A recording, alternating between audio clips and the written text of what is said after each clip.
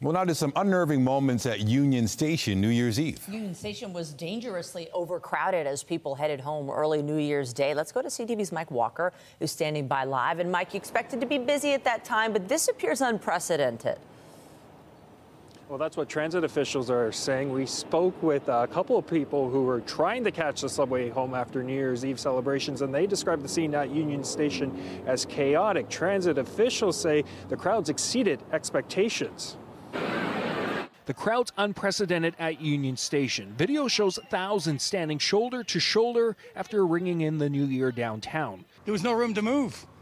You just uh, you had to follow traffic, whatever way it was going. Glenn Garner was attempting to catch the subway to Midtown, but he says the crowds were too difficult to navigate and ended up in the opposite end of the city. I just wanted to go up to Yonge and Eglinton, but I had to go the other way because I couldn't get in, and I wound up at Finch uh, in the west and stuck out there for two and a half hours waiting for a bus. Several transit riders posting pictures and video to social media showing a backlog through the station's concourse. It was just chaotic, and I was just getting flustered because I, it was unbearable.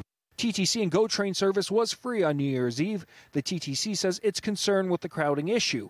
A TTC spokesperson writes in a statement that reads in part It is important to note that the crowds this year were significantly larger than last year and exceeded all expectations, leading to overcrowding on the transit system. They are never prepared for anything like this whatsoever.